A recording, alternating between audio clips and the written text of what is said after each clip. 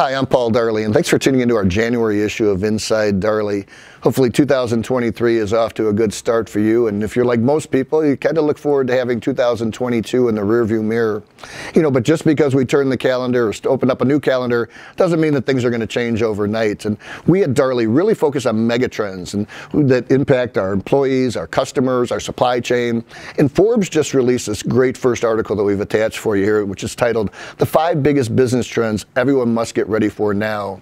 And number one trend that they talk about is accelerated digital transformation, and it's particularly as it relates to AI or uh, artificial intelligence. And you, know, you kind of think, hey, that's maybe something that's going to be coming in the future down the road, but I'll tell you, it's here now. I'm happen to be a part of a business group with uh, a great CEO who's a tech guy, Kerry Chesick. He founded uh, Restaurant.com, and he recently shared with our group some great information, some great tools on AI.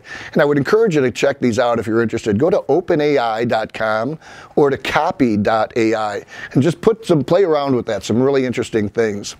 The second trend that they talk about is inflation and supply chain issues, and we've talked a lot about that, finding, making sure that you shore up your supply base. Number three is sustainability or ESG or corporate social responsibility, CSR that we talk about. Really, if you're looking to attract good folks, uh, you know, to your company, it's really important that you have a sustainability plan, that we're all good corporate citizens.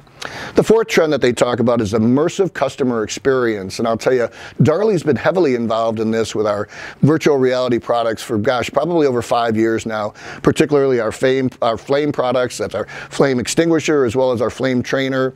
But we're also really excited to add a new product line to that, and that is uh, we've partnered with Ferno and we're introducing VRPatient.com. So you ought to check this out. We are the exclusive distributor for the uh, EMS market as well as the defense market. So this product, we've attached information for you on it here, won Innovation of the Year at the EMS World Show this year. So really cool stuff.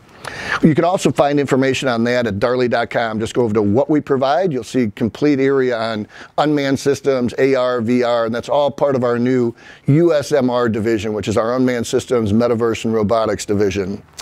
You know, while we're talking about mega trends, one of those trends is also the trend toward mega cities, and we've attached an article here for you titled Rise of the Mega City.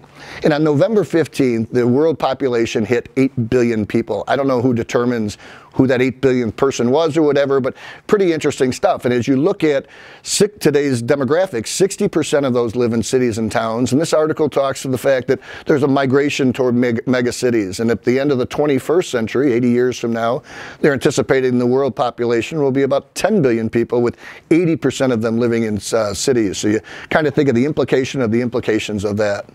You know, lastly, our hearts go out to the Halton family as we lost Bobby Halton, uh, you know, earlier in, in, late December. I'll tell you, he was a great friend of uh, Darley, a great friend of the fire service, truly one of the great icons uh, and great leaders in our fire service. He served on our fire advisory board for five years. He always told it like it was. So he truly left his mark. We thank him and we'll, uh, we'll never forget him. So, hey, thanks for tuning into this issue of Inside Darley. If there's anything we can be doing to support you, we hope you'll reach out to us.